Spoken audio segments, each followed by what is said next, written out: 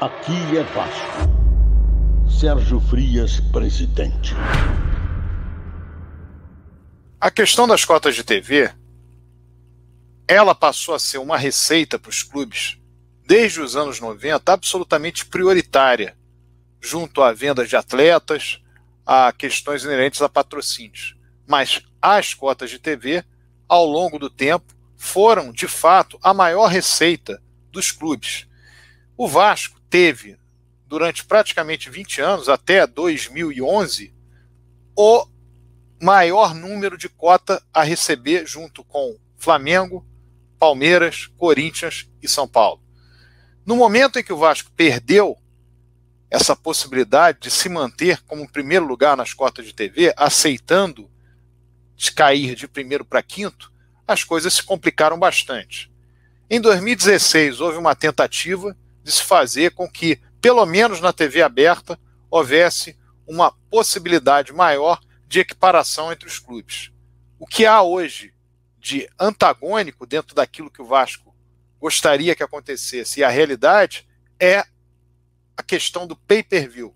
O pay-per-view chama uma situação que, para o Flamengo e para o Corinthians, é extremamente benéfica em se comparando com o Vasco. O modelo inglês deveria ser aplicado no futebol brasileiro. Ele é o mais justo, o que mais leva em consideração a meritocracia e que não coloca uma distância muito grande entre um clube e outro, dos chamados grandes clubes da Inglaterra.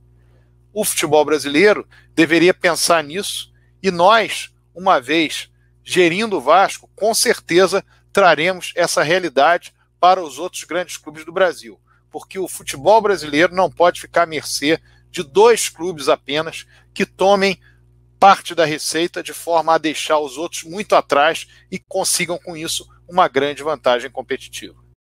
A situação dos clubes hoje é dramática no que diz respeito ao quesito cotas de TV. O Campeonato Carioca de 2021, por exemplo, não tem nenhum sustentáculo financeiro hoje. Não se sabe que receitas chegarão para os clubes a respeito dessa competição. Por quê? Porque a Rede Globo, que era detentora dos direitos, resolveu abrir mão disso e não se sabe ainda se outra emissora pagará valores próximos ou se haverá uma outra hipótese para que os clubes faturem nessa competição.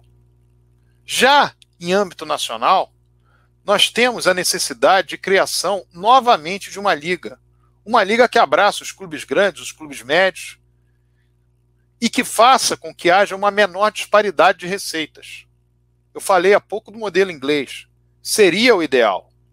Podem ter certeza, uma das nossas bandeiras é fazer com que haja essa aglutinação no futebol brasileiro, a preponderância do Vasco no grupo daqueles que faturam mais, que recebem mais, pelo tamanho da sua torcida e pela força da sua marca, mas principalmente campeonatos muito mais atrativos, equilibrados, em que o desequilíbrio advenha da possibilidade de os clubes serem criativos, obterem outras receitas, mas não a partir de uma cota de TV que, que traga uma disparidade tão grande entre mais variadas equipes que disputam a competição.